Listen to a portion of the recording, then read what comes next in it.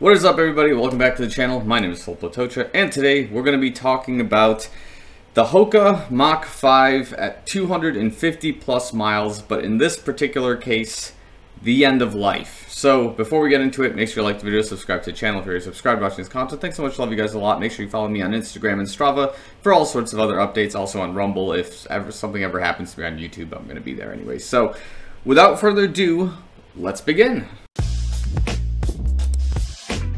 So the specs for the shoe will be somewhere up here, wherever it fits. So as I mentioned, this shoe does have 250 plus miles. I think specifically it may have 272 plus. And the reason I stopped there is obviously for what you're going to find on the outsoles of the shoe. But one other thing, but first, of course, we will start with just that. So that is my left foot. Here's my right foot. And I think the last time I talked about this shoe, I was discussing how even the wear was in between both of them. And obviously at this point, as the time spent on the shoe continues, I think the amount of wear between both feet in my particular case begins to diverge a lot more. And as you can probably tell by the right foot, I've already cut right into the ProFly in this particular area. Not as badly as I thought it was supposed to be, but it is getting to the point where I was experiencing a bit of soreness and a bit of achiness in the ankle of my right foot, which is usually a bad sign. So that's why I decided to cut this shoe entirely out of my running lineup at this you know at this point in time. So based on the wear as I can see it, you can see that the the as you get closer to the midfoot, that wear is not nearly as bad as the top portions of the foot, which tells me that most likely as I'm running down a hill or something, I'm braking and then I'm launching off. And that kind of resembles what's going on here with the wear, particularly on the outsole here. And in this particular area, I hope we can like do the lighting on this pretty well. You can see it's kind of rigid on this sort of direction. So you can see it's being pushed and then it's being broken into it like a braking mechanism into the next lug of the shoe. So a lot of hill running with this shoe has kind of really beaten it up to this point. And it's quite similar, if uh, not actually more defined, in this particular shoe with its lugs. I wonder if we can get this like nice and even. Maybe that'll work out. You can see we got like a bit of a ridge here, a bit of a ridge there. Just in case that angle doesn't work, let's do it right there as well.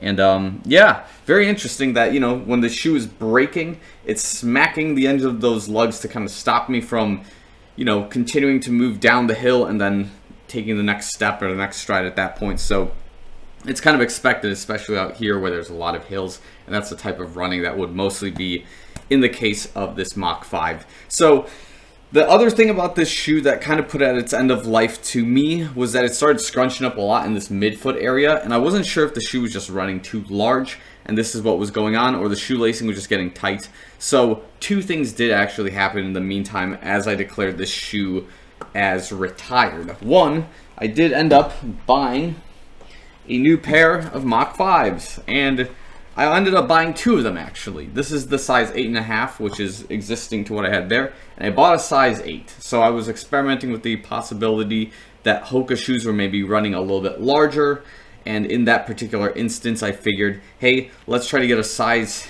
down and see if this would be something more suitable in this category. And the size 8 was far too small, so size 8.5 is good. It's just the way you lock down and tie the shoe that makes the difference here. So in this particular case, very weird sensations going on with the new Mach 5 that I have. One is that in the particularly the left foot has a tighter fit than the right one and I don't know if this is just biomechanics or maybe my left foot is slightly larger than the right one or it's vice versa and just the way the shoes are tied down is having sort of an issue but it requires me to loosen the right foot a lot more when I tie it down.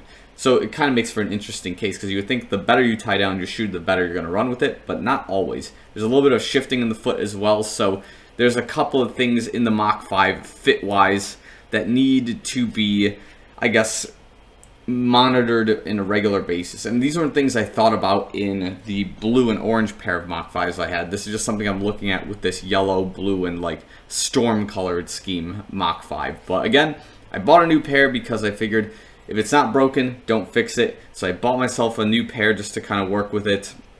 But my only concern now as I'm going into the winter season is that the snow and the ice is going to start coming back and the Mach 5 might not be perfect for those conditions. In fact, it might be a detriment to be using this shoe. So as you guys can guess, I do have to whip out the Pegasus shields for that time being. You know, this is the older pair of Pegasus shields from like 2018, 2019 that I bought on resale, brand new. And uh, because I've rarely use them unless it's winter conditions, they have good lifespan. But, you know, this video isn't about these. This video is, in fact, about the Mach 5s in this particular case. I guess the other thing we can compare is when I decided to stop or when I decided to retire the Mach 5 versus the Mach 4. So you guys may have remembered this from previous video, and if not, this is what the Mach 4 looked like by the time I decided to retire the shoe.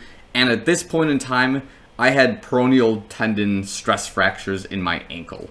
So, or not peroneal tendon stress fractures, it was peroneal tendonitis and I had some kind of like uh, fibula stress fracture at this point. So it was the one on the outside there. And it may have been as a result of not enough support in the foot while I was striking, and it could have also been the case of not having a good recovery time after the Chicago Marathon at the time, and just a couple of things kind of rolling in that kind of sense. So, of course, don't let your shoes run to this point. So, being safe with the way this particular shoe kind of ran itself down is essentially where we're looking at it for now. Um, 270 plus miles and like less than 250. Big difference in the way uh, my running stride has changed between a whole year with both Mach shoes in this particular family. So, my overall assessment of the Mach 5 is that yes, I did in fact buy another pair of uh, Mach 5s because I like the shoe. There's a lot of other shoes in the market that I do want to still try out, like, you know, the Cloud Monster from On, uh, the Endorphin Pro, I have the Zoom Fly 5, I believe it is, and there's a couple other ones I want to start buying and testing out, but as a safe choice for daily training and some speed sessions if they're available, I do choose the Mach 5 once more, and because I had such an awesome ride with it before, you know, lightning strikes twice and I have another shoe that does exactly what it's supposed to do as a daily trainer and I'm not going to really turn my back on it. You know, again, the usual problems still remain of one, the lifespan of the shoe really does suck with this EVA foam, but you are trading its lifespan in terms of what's being used on the outsole for a lighter, more fun shoe to run with on a daily basis. So I think that's where I'm going to end this particular review for now. If you have any other questions, you know, just leave them in the comment section below. If you have some shoe suggestions for me to try out and would like to watch those videos, you know, throw them in the comments below as well. And because I'm back in season for marathon training pretty early, I need to play around with some more shoes. So let's do it and uh, let's have some fun with this. So thanks so much again for watching this video. I'll see you guys in the next one.